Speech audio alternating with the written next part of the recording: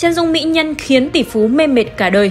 Dù đã rời khỏi showbiz hơn 30 năm nhưng Lê Hồng Thủy Tiên vẫn là cái tên quen thuộc đối với khán giả bởi bà chính là mẹ chồng quyền lực của Tăng Thanh Hà, phu nhân tỷ phú hàng hiệu Jonathan Hạnh Nguyễn.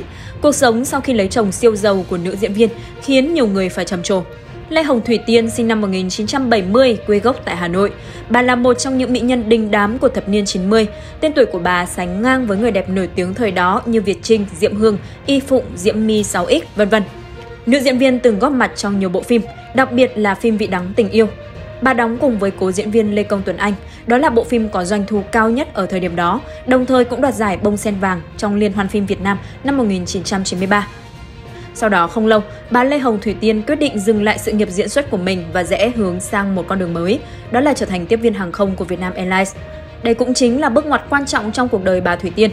Thông qua những chuyến bay tới những phương trời mới của thế giới, bà đã gặp được người đàn ông thay đổi cuộc đời mình, ông Jonathan Hạnh Nguyễn, tổng giám đốc tập đoàn IPPG. Vị doanh nhân thành đạt đã trúng tiếng sét ái tình ngay khi gặp bà. Với những người con gái khác, khi đứng trước khối tài sản và vẻ ngoài điển trai, thành đạt của ông Jonathan Hạnh Nguyễn thì họ sẽ siêu lòng, nhưng với bà Thủy Tiên thì không. Bà từng tâm sự, bản thân không quan tâm tới những thứ hào nhoáng bên ngoài, bởi mẹ bà luôn nghiêm khắc dạy con cái, chỉ có làm việc cật lực thì mới có thể tồn tại. Cũng có thể bởi lúc đó chồng bà đã có một đời vợ, ba cậu con trai. Và hơn bà tới 21 tuổi, còn Thủy Tiên thì vừa tốt nghiệp đại học, đi làm chưa được bao lâu, lại xinh đẹp và nổi tiếng. Về chuyện tình với chồng, Thủy Tiên từng tùm tìm kể. Để theo đuổi tôi, anh ấy đi mọi chuyến bay có tôi.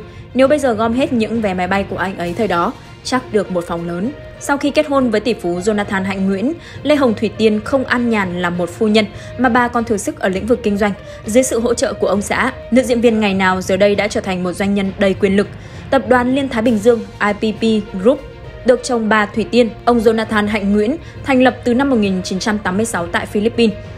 Tới năm 1995, bà Thủy Tiên cũng bắt đầu với siêu thị miền Đông, rộng hơn 10.000 m2 và có 24.000 mặt hàng.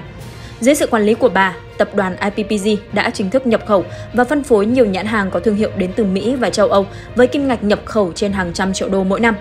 Hơn 10 năm trở lại đây, công việc tại IPPG được giao lại cho bà Thủy Tiên với vai trò tổng giám đốc tập đoàn.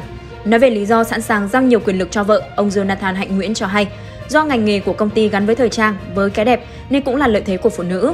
Người phụ nữ bây giờ năng động, quyết liệt hơn rất nhiều, có môi trường thuận lợi, người phụ nữ sẽ khẳng định được bản thân. Từ năm 2013 đến năm 2016, bà Thủy Tiên được bầu chọn là một trong những nữ doanh nhân thành công tiêu biểu tại Việt Nam và châu Á từ các tạp chí danh tiếng quốc tế như Forbes, The Guardian, Marie Claire của Mỹ và Úc, Harper Bazaar, Her World Singapore. Đồng thời, bà cũng vinh dự được trao tặng huân chương lao động hạng 3, doanh nhân nữ ASEAN tiêu biểu, nữ doanh nhân ASEAN. Không chỉ là một doanh nhân thành đạt, bà Thủy Tiên còn được biết đến là một nhà hoạt động xã hội quyền bình đẳng của phụ nữ Việt Nam. Là một tổng giám đốc của tập đoàn nghìn tỷ với hơn 30 công ty và kinh doanh hơn 100 thương hiệu đình đám của làng thời trang quốc tế, bà Thủy Tiên thường xuyên được mời đến dự các show thời trang và gặp gỡ nhiều nhà mốt nổi tiếng thế giới. Ở tuổi 53, Lê Hồng Thủy Tiên có nhan sắc ngày càng mặn mà quyến rũ, thần thái đúng chuẩn một vị phu nhân sang trọng đẳng cấp. Bà có cuộc sống vô cùng hạnh phúc bên tỷ phú hàng hiệu và các con. Trong đó, nữ doanh nhân có hai người con ruột là Tiên Nguyễn và William Hiếu Nguyễn. Sự thành công của bà khiến nhiều người ngưỡng mộ và trầm trồ.